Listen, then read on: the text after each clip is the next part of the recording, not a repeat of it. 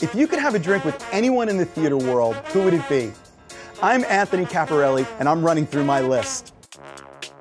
Each week, I'll sit down with cast members, bartenders, and personalities from New York's theater district and get a behind the scenes look at what it's like to live, work, and play on Broadway. Come have a drink with us on Broadway Bartender. Welcome to Broadway Bartender. My name is Anthony Caporale. We are at New World Stages in the heart of New York's theater district, home to my show, The Imbible, A Spirited History of Drinking. And this week, we're going to start out with a drink that I call the McMurdo, which is kind of like a Manhattan, but a lot colder. So we're going to start with filling up my mixing tin uh, about halfway with ice. You've seen me do this a million times. And I'm going to use some Irish whiskey in honor of our special guest. And I'm going to do two ounces of whiskey per drink. So that's going to be four ounces into the tin. And then some sweet vermouth, again, following that Manhattan recipe. I'm using about a half ounce per drink. And I'm going to go ahead and shake this up. Now, traditionally, Manhattan would be stirred. I like mine shaken. But because I'm going to serve this drink on the rocks or over ice, it doesn't really matter if it's a little bit cloudy from the shaking. And again, I want this as cold as I can possibly get it. McMurdo being, as you'll find out, located in Antarctica, which is significant. Stay with me. I'm going to go ahead, once this is nice and chilled and diluted, I'm going to strain this into two rocks glasses that I've packed right to the top with crushed ice. So this is more like a mint julep service here. And then because again, it is a Manhattan, I'm gonna top it with a couple dashes of bitters and serve it to our special guest this week, Wade McCollum of Ernest Shackleton loves me. Ernest Shackleton loves me. So first of all, cheers, my friend. Cheers, McMurdo. Yeah, let me know what you think of that. Mm. It's cold, but it warms you up, right? Yeah. All right. Yeah. So, Ernest Shackleton loves me. This, there's nothing about this show that I don't love.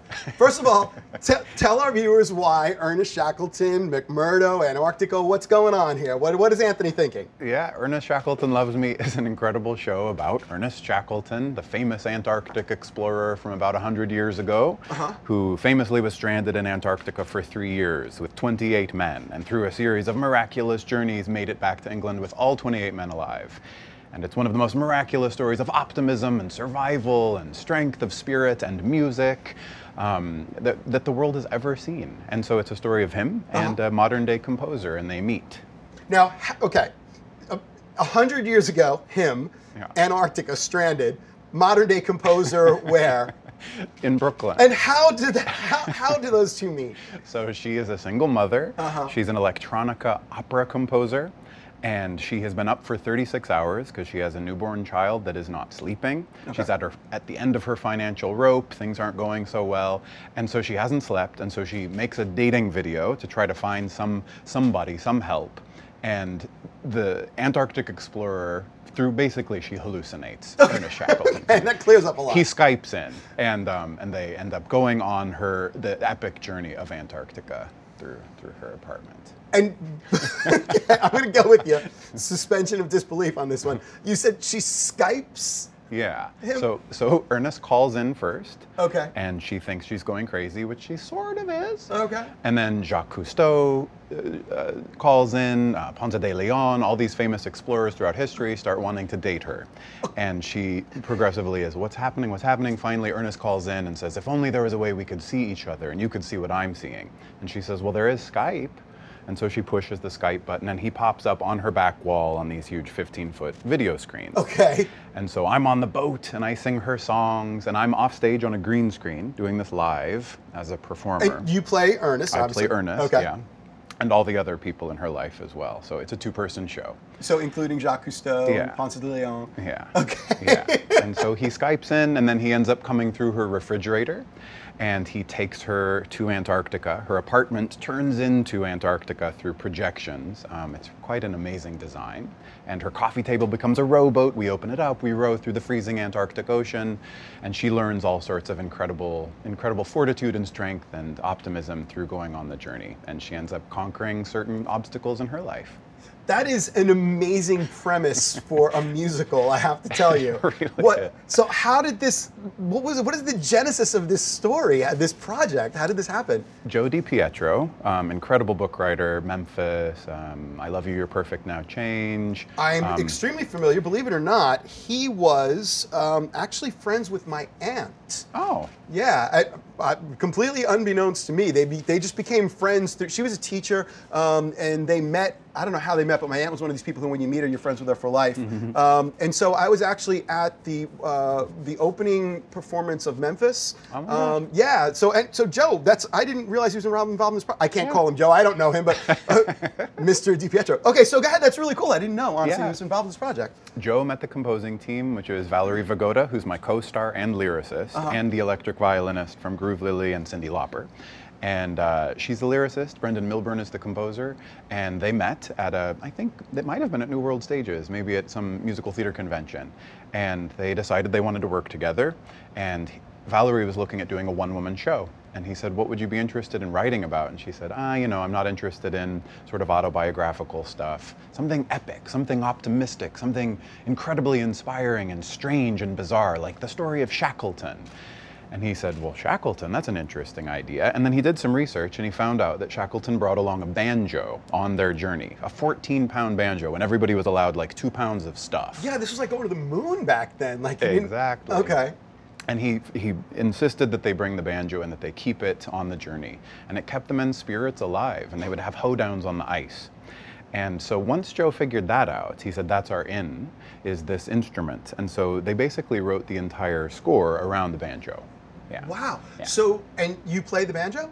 I didn't, but when I got hired, I learned. You, you're kidding me. no. Really? Yeah. Okay. yeah. And what other instruments are played in the show? Um, I play a little guitar. Um, she plays the electric six uh, six string electric violin. Um, she plays the drums. She plays the banjo. Um, she does all live looping, so she's doing looping pedals. She's playing um, timpanis and drum sets and trigger pads. She plays the vocoder. She plays the keyboard. Whoa. She's sort of a unicorn of all of all kinds. She's a she's a really magical human. Wow, amazing. Yeah. So, from what I understand, the show really takes advantage of technology Yeah. in that, and more than just audio, right? The- You mentioned giant screens and stuff. Is that like a big part of, of the whole experience? Yeah, yeah. So musically, it it, uh, it uses all sorts of cool looping technologies to uh, create these huge, epic, orchestral, sweeping, cinematic score to the journey.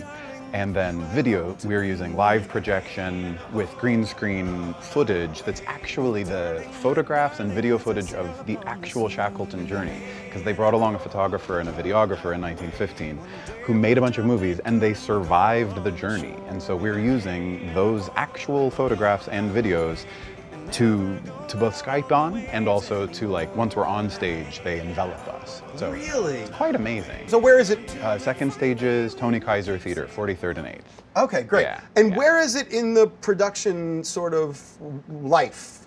We had our third preview yesterday, and we have three weeks of previews before we open. So lots of changes are coming at us, and Joe is working furiously. And it's my favorite part of the process is when we're trying out new stuff, and he'll give me new pages right before the show, and I quickly sort of memorize the jokes and go out and try them out. It's my favorite part. I just Really? think, I think it's so thrilling. Now, explain again to our viewers who might not be familiar with how theater, sort of at this level in New York, works. Pre- so you've, if I come to see it, I pay full price for ticket. I go in, and but you're in previews, which means you can continue to change the show as much as you want. Yeah, to a certain degree. You know, a lot of the musical stuff is somewhat fixed because of the technology used in order to create it. Although we have a new opening number and we have a new 11 o'clock number that we've plugged in for this. We've did it. We've done three previous productions of it, and uh, two new musical sections have been plugged in for the New York show. Um, so yeah, things might be on the fly. We're in rehearsal for five hours a day before the preview that night. So during those five hours, we might be rehearsing new scenes. We might be rehearsing new technical te- technical cues and stuff like that. And so it is. It's quite thrilling. I, I really enjoy it. That's amazing. And so you're opening in three weeks. May about from seventh, I think, Okay. something like that. One Is- day at a time. And is it a limited run, or are you guys going to see how it goes? it is. It's a limited run. We're going till June 11th, I believe. Okay. And then maybe we'll find a new home. fantastic. So this is a lot of work then for like the, this one month. How you- how many roles do you play? seven, but two of them are new as of just a couple of days ago. So I think it's seven. I was trying to count in the shower this morning. Um, some of them are voiceovers, so I'm Okay. backstage kind of doing voices that are calling in. Some of them are only on camera. Uh, some of them come on stage. And so three to four days ago, you were playing five roles. I think so, And now you're playing seven roles. Yeah. So li- life of a performer in New York. That's unbelievable. And I understand that you are quite accomplished with dialect. I mean, there are quite a few dialects in this show. Yeah. I'm, I'm a big fan of dialects. And? I, let me tell you why. I can't do any. Zero. I do none. I lived in North Carolina forever. Can't do a Southern accent. Ah. lived in New York, and so tell, can can you do a couple for us? Well, I mean, I mean, I, I hate when people say that because then I have to give you something to say, right? I don't know. I, mean, I don't know if all of them are classified as dialects. There's like there's like a Queens guy at the top, and then there's like a guy that talks like this, and I don't know if that's a dialect. That's those are yeah, well, but they were definitely different accents. And then Ernest Shackleton, of course, is British, so he talks like this, of course, and he has a very low voice, and he sings a bunch. And then Bruce is like from California, so he's kind of like a surfer guy. And but none of those are really. only the British this is really dialect. Fascinating to me. No, that was really good, by the way. Cheers, that was awesome. Where are you from? Uh, West Coast. My dad's a musician. Oh, okay. So performing family. Yeah, he's a drummer. So I, I was born on the road in a rock and roll band and uh, didn't. Literally? Literally, and did not settle down until I was five and didn't realize that people stayed in houses or one place until I was about three or four. And when I found out they did, I was. I was devastated for them. I thought, how boring. You don't get to live in a car. and That's- go go place to place. You know, it was always like an adventure. We were always on to the next thing, the next gig, the next town. It was always new new information. So did your parents support your decision to become a performer? Yeah. Or were they like, I don't know if we want this for him? They couldn't tell me you couldn't make a living being an artist. So that's one, you know. It's like smokers telling the kids they can't smoke, right? Exactly. Exactly. Okay. So when did you know that you that this was the life for you? Oh, I was about 13 or 14. I, I went to school in Ashland, Oregon, home of the Oregon Shakespeare Festival. Wow. And so it's a it's a unique town in that its primary industry is theater, and they ended up teaching our high school drama department. And so I had really, really incredible mentors at that really key moment of life. And uh, I did a play when I was 14, and it was a clear fit. I thought, this is what I'll do for the rest of my life. I dropped out of high school, got my GED, went to college, graduated at 19, and I've been acting ever since. You got to be kidding me. So I knew, I, once I knew, I was like, this is it. No doubt about it. Whoa. And and you've been actually working ever since. I have. Yeah, I've been really blessed, super lucky.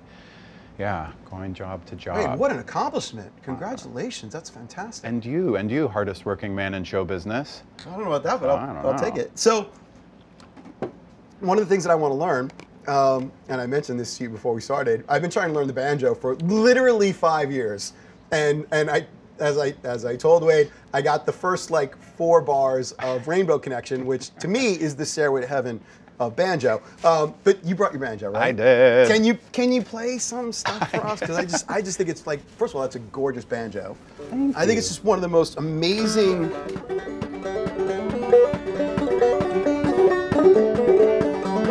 You know, I learned to play the banjo for the show, and the very first time I played it in front of strangers was on live morning television in Seattle when we did our, our world premiere.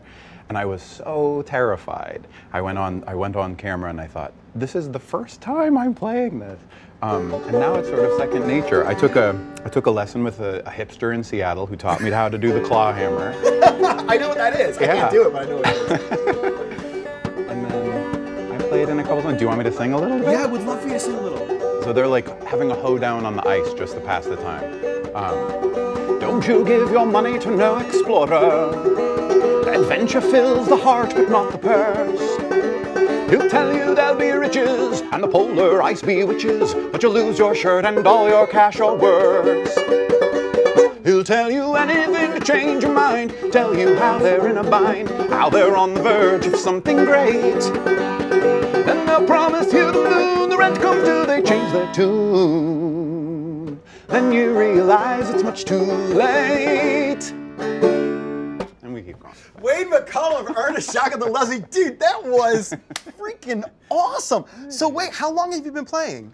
Well, I How long mean- have you been with the show is the real question there, I guess, right? Yeah, we premiered in Seattle a few years ago. I'm bad with linear time, but I think Okay. it was 2014, maybe 15. So that's only like three years max of banjo playing. Yeah, but I really fell in love with the instrument. I Isn't it's it a great instrument? Gorgeous, gorgeous instrument. It has a beautiful history. I love what it represents. I was going to ask you, did you did you see the um, the the Netflix documentary on the banjo? No. Oh, there's an amazing Netflix doc- documentary. I think Steve Martin actually Oh. put it together, and it's the whole history of banjo from Africa. Whoa. Yeah, I, dude, you got to go watch it. I know like, what I'm doing tonight. Go watch it. It's incredible. That's great. Um, yeah, but I just think it's. I mean, you just said it. The history, the sound is. It's, it's all just. It's gorgeous. It's a folk instrument, and I'm a, I'm a big proponent of not losing folk tradition as Yeah. technology sort of invades our lives. It's beautiful, but also let's maintain some folk traditions. and So what it was. interesting choice of instrument in a very high tech show. That the banjo was the focal point. Was that intentional? Do you think? Well, it's just historically accurate. It's what you he know. used. Ernest brought one along, and they played. So that's just part of their story. Wow. So what's it been like going for the sh- through go, being with the show for the three years before it got to where it currently is? I mean, Amazing. I, I love doing shows more than once. I love doing it, uh, taking some time away.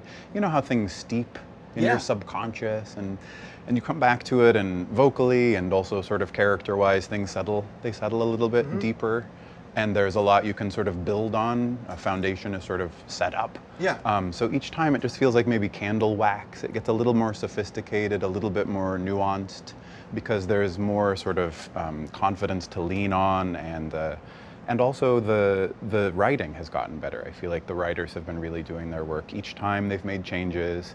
And Boston, you know, was it was a huge hit in Boston. I won we won all these awards and it was a really fantastic time. And that was just last year. Um, so I feel like you know we keep that bodes well. yeah Really cool show, man. I'm just a big fan of, of anything that's um, really kind of outside of the box. I think that's really cool, and it sounds like you guys live outside. way outside of the box, man. Cost- Um, so I always ask all my guests: any experience bartending or working as a server in a restaurant? Or No, not officially, but you know, my, because my dad uh, played bars my entire childhood, I basically just hung out in bars. So they're the kinda like home to you. Kind of, yeah. All right, awesome. So um, I am going to make a drink, or I'm going to have you make a drink. Okay. Um, that I named in honor of the show, uh, called the Nimrod. so why don't you explain to our viewers why that's a significant thing? Isn't that the name of one of his ships? It's the name of the ship, and I think it's the one that actually got stranded. Yes. I'm, I'm not sure. It's a Um, tragic story, the tragic- Nimrod, yeah. A tragic story, but I just think it's a great name for a It's drink. It's a great name for a drink. And it, it, you know, it got crushed and fell under the ice in Antarctica. It has inherent drama. Yes, it Yeah. got deconstructed, Ah. and so we are going to make. And he, where was Ernest? Was was an Irishman, correct? He Or- was born in Ireland and left for England when he was 10, so yeah. So we are going to do a deconstructed Irish coffee. Ah. Or you're going to do it. You up for that? Yes. So why don't you switch places with me here, and I'm going to make this real easy for you. You just come right here, and I'm going to talk you through the whole thing. Great. So you jump back there, and we're going to start with a couple rocks glasses, and we're going to begin with all things Ernest Shackleton loves me with ice. And Yes. in there you can see there's regular ice, but then there's some coffee ice Oh, cubes that I made. And you should have, uh, yeah, just put one of those coffee ice cubes in each of the rocks glasses. And that's the coffee part of our deconstructed Irish coffee. And then, of course, we need Irish whiskey, which should be right down in that speed rail. Yes. Great. Nope, that's Uh, sweet vermouth, the one right next to it. Fantastic. And I want you to put uh, about an ounce and a half. So you're going to turn it straight upside down and count to Okay. three over each of the glasses. Eins, zwei, drei. Perfect. Eins, zwei, drei. Oops. Great. That's it. And now we have some uh, heavy cream. That's actually some half and half. And all I want you to do is pour that very gently right onto the middle of the ice cube in each of those glasses. Don't be too nervous about it because it's gonna. That's it. And just go a little bit more. Yep, you can do a little bit more than that. All right. Fabulous. And that is our Nimrod, Yes, or our deconstructed Irish coffee. Tell me what you think of that, my friend. Cheers. Cheers.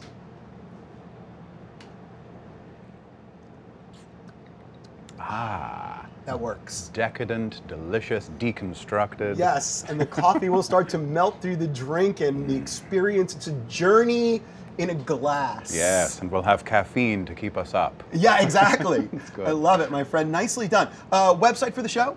ErnestShackletonLovesMe.com, I believe. Do you have a personal website or any uh, thing that you want to, any projects or anything you want to plug or anything like that? Uh, Wade, WadeSong.com is a website. Yeah. I, I do. Good to know. Wade McCollum, Ernest Shackleton loves me. Thank you Thank so much for coming. This has been wonderful. I can't wait to see the show, especially now that I know where it is. Ditto. That will help me tremendously. Yeah. That's awesome, man. Thank you. Folks, you. check us out, BroadwayBartender.com for recipes, uh, links to our guests and their shows. Drink well, drink responsibly. Don't you give your money to no explorer. Adventure fills the heart, but not the purse. He'll tell you there'll be riches and the polar ice be witches, but you'll lose your shirt and all your cash or worse. He'll tell you anything to change your mind, tell you how they're in a bind, how they're on the verge of something great. Then they'll promise you the moon, the rent comes due, they change their tune. Then you realize it's much too late.